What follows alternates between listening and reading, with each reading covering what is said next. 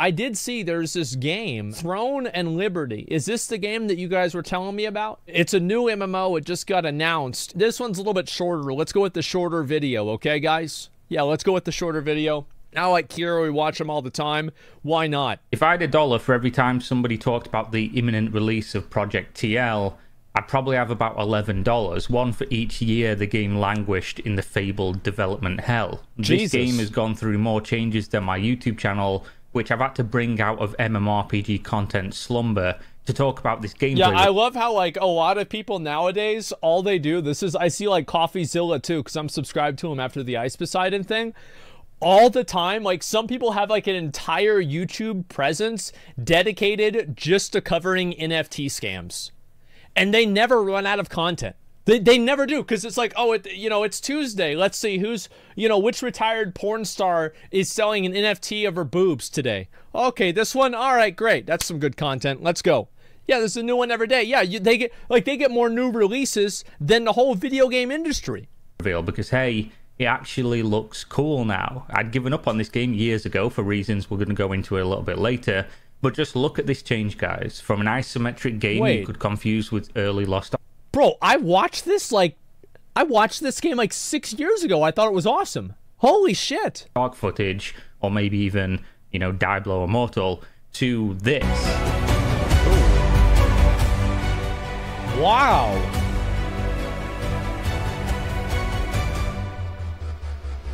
Holy shit. That's incredible. This looks cool I mean, frame rate is fucking garbage, but you know. Wait, look at that. Wait, wait, yo, yo, yo, real quick. Let, let me go back real quick. Watch. Are these all players fighting this NPC? Look at that. Holy shit, that's really cool, man.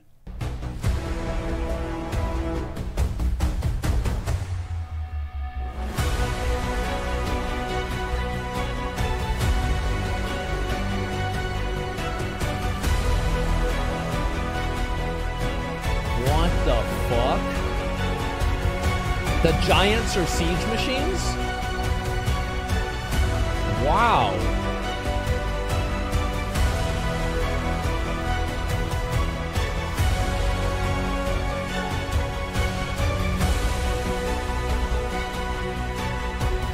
I mean, that looks cool, man.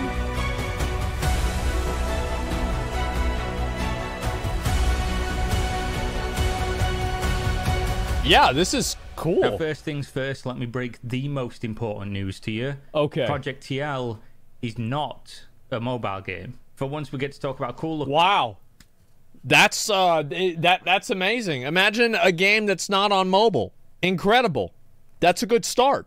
MMO that isn't also on mobile. Now, there is, of course, multiple reasons I'd given up on Project TL, and one of them, of course, is because of the development hell. You know, 11 years, no news, no new trailers, anything. That's actually what happened with Diablo.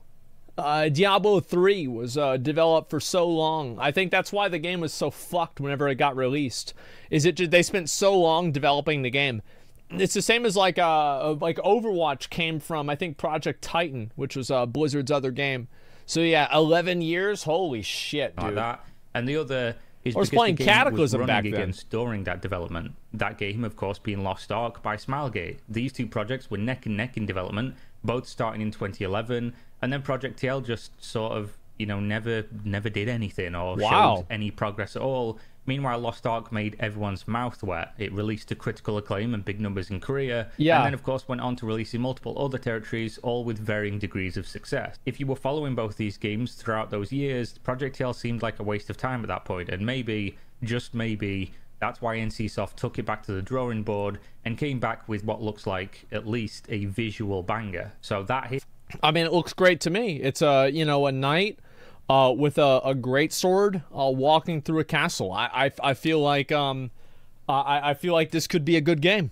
Yep, I, I feel like it could be a good game. Uh, you know, we'll see what happens, but I don't know. visual banger. So that history is exactly why I was surprised Don't trust this had NCSoft? any new gameplay Oh, the game could because suck, the only too. reason we ever even knew Project know. TL wasn't cancelled was due to somebody deep down. As I said, I mean, every MMO is subject to the MMO paradox. the less you know about the game, the more hyped you are for it, and the more you know about the game, the less hyped you are for it. In the NCSoft financial reports a couple times per year, where they would just mention Graphics the game still nice. exists. I mean, look at the Wikipedia page. That tells you everything you need to know. They planned Lineage the beta for Eternal, 2013. yes, that's what it And I think the last time we saw any gameplay released for this project, people were still optimistic that Star Citizen would launch ever, and you know that tells you how long ago this was. Oh, that being wow. said, it does look like they've decided not was to a long time ago too then. late and live in the shadow of their competitor Lost Ark, which is still banging out in Korea and recently on the Western market, and instead go for True. a next-gen console slash PC launch to compete with the likes of Black Desert Online, but with that lineage flair. And I say lineage flair because this was originally developed as Lineage 3. It was the next Yeah. generation PC console lineage game. Although they have since decided to turn this into a separate IP with the extremely generic name of Throne and Liberty. They do seem to want to move away from Lineage I think that like uh, that might be a good idea to just make a new IP rather than just try to use the same IP over and over and over. Bad name. Yeah, but I mean like I don't really care if it's a bad name. Like PUBG was a stupid name. I still played the game. Like who gives a shit? Little bit for whatever reason, and this Throne and Liberty series is actually going to be expanded upon with multiple games. This one in particular is set to launch on a global scale simultaneously Great. in the second half of 2022. So Holy it's sh- not that far away from this video. This is not Holy one of those shit. where we're like, oh, it looks cool, but you know, wake me from my slumber in five years. Yeah, And exactly. as for what to expect, Wow. let's refer to the developer's word. And please be aware this is, of course, auto translate from a Korean interview, so there might be some slight errors. Okay. Now, regarding field play, quote, for example, there have been various attempts to make field play less monotonous. Even in the same area, the terrain may change as the weather changes, the flow of battle may change depending on the direction of the wind, and you may encounter new mobs over time. Hunting methods and purposes are constantly changing accordingly. The field, the environment, and the player these three factors influence each other, and we put a lot of effort into making the play come out in different ways, even in the same area. That's Various cool. variables are expected to create a variety of play. This, of course, is something we've heard touted in MMORPG development and promotion since the late 90s, and almost never has it actually added meaningful elements of gameplay avenues, but they at least talk about some specifics later on in the interview. For instance, arrows are going to travel Yeah, different it- it's like for example, like in New World, ghosts only spawn at night. Y- y- You know, it's like a little small things like that. I think that's cool. I I think the Gleamite meteors would only come down at night as well. Yeah, very spooky. So like usually the like day and night cycle stuff doesn't translate very well to being good content. But we'll see. during a storm due to the wind. You know, they'll have less range. Maybe they'll change See, like that sounds like a really cool idea, but I just think it's gonna be annoying to play. Like whenever I hear like shooting a bow, the direction and strength of the wind affects the range. You know what that tells me? Thank God I'm using a sword. direction. And That's the first thing I think, yeah, fuck from that. Single target when it's sunny to AoE attacks during the rain. This is also going to play a factor during competitive gameplay as well, such as when there is a castle siege happening. You could normally use a sewer as an alternate path to breach the walls. That's cool. But during rainstorms, it might be inaccessible. It might be flooded out. Players can also try That makes it interesting. I like times, that. That's cool. A solar eclipse or a rainstorm. So presumably that's a mechanic to try and have the odds of the elements in your favor. In terms of content focus, I think like the idea of a siege in the middle of a solar eclipse would be really fucking cool, man. That would be absolutely badass. It's kind of like, do you guys remember back in like PUBG how cool it was if you got a fog map? Like I remember like whenever we get a fog map, it was like, oh shit, you know, oh shit, okay, it's it's like this, right? It was so badass, man. It was cancer. Uh, No, I thought it was cool. Uh, I thought it was really, really cool. Fog maps were scary. I liked it a lot. Yeah, so like having a cool uh like uh like weather effects and stuff like that and having it affect what's going on is a big deal for me. I think that's badass. Curse, what I could find wasn't huge. They basically say that they're going for a two pronged approach. The first being story, and I know I, I can already read the comments. A lot of people are going to be talking about, you know, South Korean MMOs have bad story, but hear me out on this one. I don't Okay. think South Korean MMOs typically have bad story. I just think they tell their story in bad ways, at least for what Well, a lot of the times, like at least I, I know with uh with Lost Ark, it's very what's the word for it? It's very formulaic. There's no like real twists and turns. It's just kind of you know, it's like I mean that's the thing with Shadowlands is like Shadowlands could have been a really good story, and I think if you had to tell the same story, like and you just gave it to like a, a team that was better at telling it, it would be good. It would be a great story.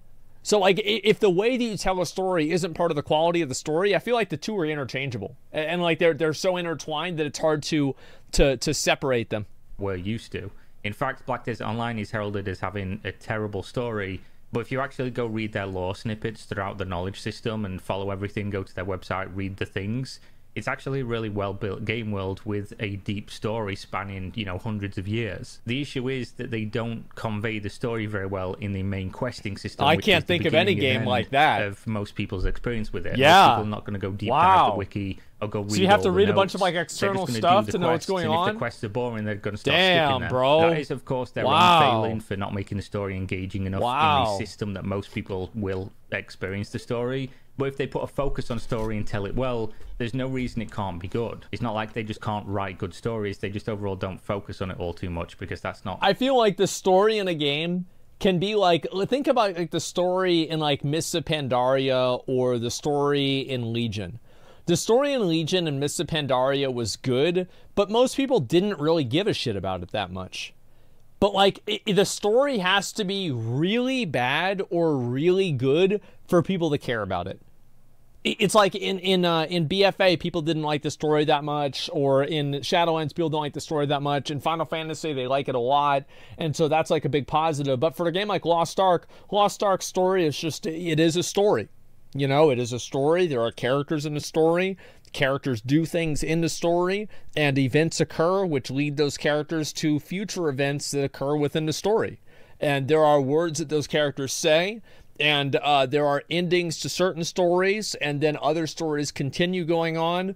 Uh, there are climaxes, there are low points and high points in the story, and what I'm really trying to say is that Lost Ark has a story. That's right, and that's about all I can say. It does, and, and like nobody gives a shit. Nobody gives a shit. It doesn't really matter that much and because people aren't there for the gameplay it's not it's not embarrassingly bad it does have some kind of ridiculous moments to it, but for the most part, it's just like it is what it is. So yeah, I, I like Lost Ark Story. Some parts of it are, are, good, but like what I'm trying to get at is like it's not award winning and it's not award losing. It's not Shadowlands and it's not Shadowbringers. That's all I'm trying to get at.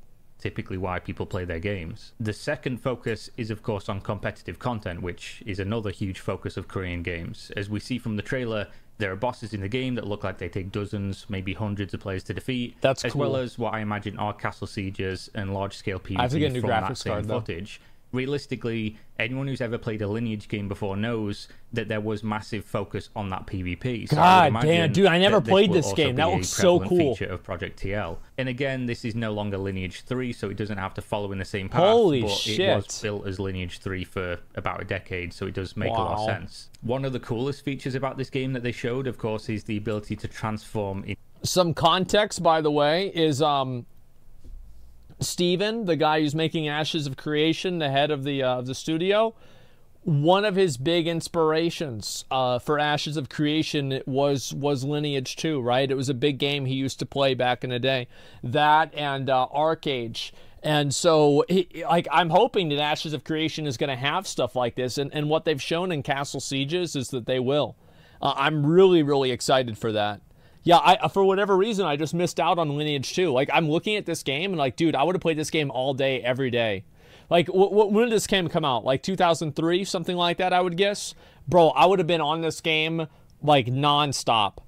Is the ability to transform into animals. The core philosophy yeah. for this feature is that they want to heavily limit the amount of fast travel in the world, such as teleportation, so more akin to say Black Desert Online as opposed to Lost Ark, where teleporting is constant and the it, world yeah. is less of a focus after the first clear. This isn't limited to a single animal either. You... One reason why people are more okay with fat with not having fast travel in, in, in Black Desert, and like at least this is why I was okay with it, is because you could auto run. So like you could, you know, like how in on like your ship in Lost Ark, you can kind of like set a point, uh, like a trajectory for your ship to go in.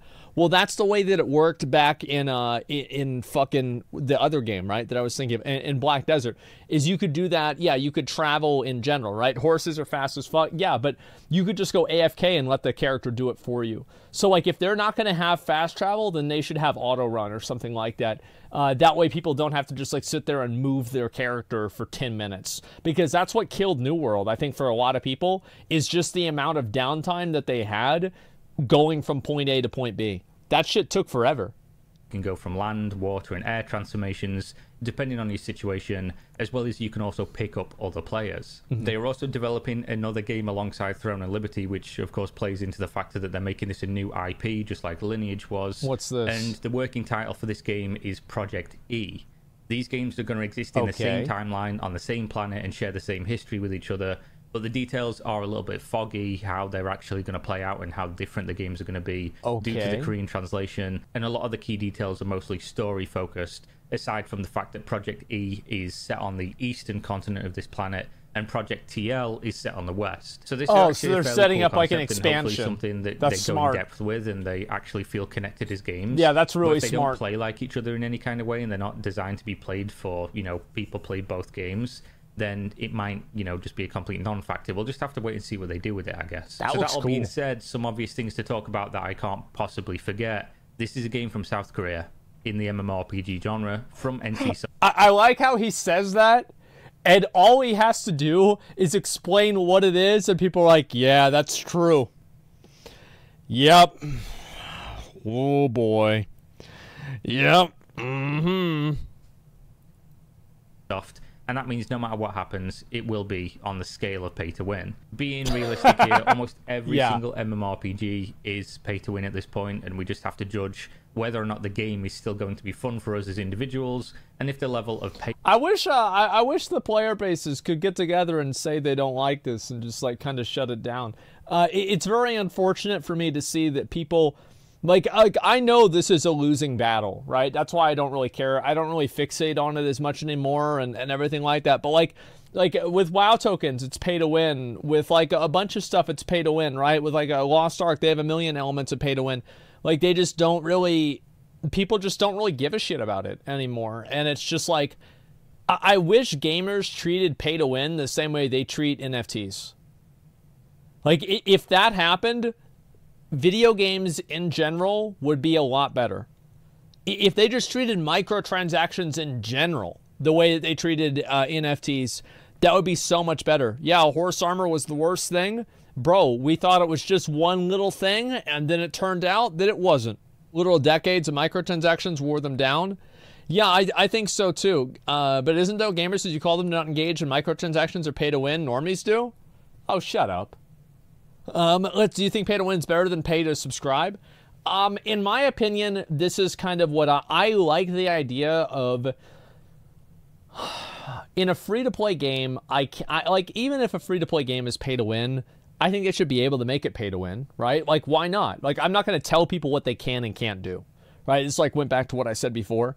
But um, I, I, am against loot boxes. I will say this for sure. Like, I am against loot boxes. I don't think that they should be legal. I think that loot boxes should be illegal. However, that being said, I think that if you want to make a game, make it pay to win, it's up to you. But it's also up to the you to convince the audience that it's not. And the unfortunate reality is that a lot of people just don't care or they try to find excuses for why it's not pay to win. Whereas in my mind, right, Lost Ark's pay to win and so is WoW, and I love playing both of the games. And like if I knew, for example, like me not playing the game, I could get everybody else to not play the game to try to like push for some sort of change, I would do it. But like it's just people just don't give a shit. Like they just they just don't care. The same as I, I feel like they used to. I feel like people have just gotten worn down and like it just doesn't matter as much as it used to at all. So yeah, uh, no need to be convinced. Just be honest. It's pay to win. Token isn't pay to win. I think it is. Uh, I think the WoW token is pay to win. Uh, I, I think I can make a very strong argument that, that it is absolutely pay to win. And so, yeah, we grew up and got money. Yeah, but like there's kids that, that don't grow up, don't have the money, and there's plenty of people that grow up that still don't have the fucking money, right? Not everybody can be lucky enough to have a good job. So, like, yeah, that's what I'm saying. I don't make pay to win if it doesn't ruin the game. Yeah, it's just like I, I don't know. I, I wish the gaming communities in general would be more against this stuff, but it, people are just so like they're just so apathetic that even if like we we say like you know in, in like my stream like oh we won't do anything that's pay to win it doesn't really matter because there's just not enough of us to make a real impact. That, that's just, that's the truth. Or people uh, don't want to spend money just because it's not rewarding to pay to get stuff? Yeah sure. It's not bad if a free to play player can compete with the pay to win player. Yeah but if you can compete with the pay to win player what the fuck do, what the fuck are they paying for? You see what i'm saying being versus playing is acceptable enough to yeah. What are you paying for? In an ideal They're world, pay to yada, lose. Yada, that yada, sucks. You know all the all the lines at this point. Personally, for me, the gameplay looks cool enough that I'll give it a try and see what this is about. And the fact that it isn't just Lost Ark, but likely worse, makes me much more. Someone says pay for convenience is okay. I disagree with that. Because what I think pay for convenience does is it creates a profit incentive for a developer to make their game inconvenient. You see what I'm saying? Like it, it, it's like, and, and, what do you define as convenience? It, it's just like, yeah, I, I don't know, man. Like I would say something like maybe PoE stuff is like kind of pay for convenience, and I'm okay with. But I'm also a big PoE fan, so you know, take that as you will all the all the lines at this point. Personally, for me, the gameplay looks cool enough that I'll give it a try and see what yeah, this is about. I'll give this a try too. It isn't just Lost Ark, but likely worse makes me much more excited to try out the game later this year. Yeah. As well as, of course, it's a global launch, meaning we're not going to be watching Koreans go hard in the paint with it for four years while we hide in the wardrobe, jerking off, looking through the keyhole. And yeah, true. it also isn't a mobile game, so good on them, I guess. Let's true wait and see what we get. And thank you very much for watching. Like the video, subscribe for more content. I have a Patreon if you want to throw some money at me, which is always lovely. And I will hopefully see you next time. Stay safe out there. We're out. Peace. That's a good video. I'm glad that he got all that's just a just simple, simple, easy to play video. Evil to do video, easy to do video. What do you think about skins? Um, I think that skins in a free to play game are I mean, bro, like it's like just necessary in an extent, right? I mean, like how the fuck do you not have skins in a free-to-play game? Like how do you make money? And so yeah, either way, Throne and Liberty, this is the video again, it's from Kira TV. I've seen a lot of his videos before. I think they're really good. And, um, you know, again, uh, it's a really, really simple and to the point video. I think he brought up a lot of good points, and this is just in general a very good uh, analysis of an early game like that. So, yeah, I'm definitely happy. Let's watch Second Recommend. It looks great. Yeah, I, will watch that off stream. Uh, and that's another one of the porn NFTs. Yeah, and that's what I was saying, right? Is like Kira puts out videos about this shit, and it's fucking great. Uh, I love watching the NFT videos. I think they're fucking hilarious, okay?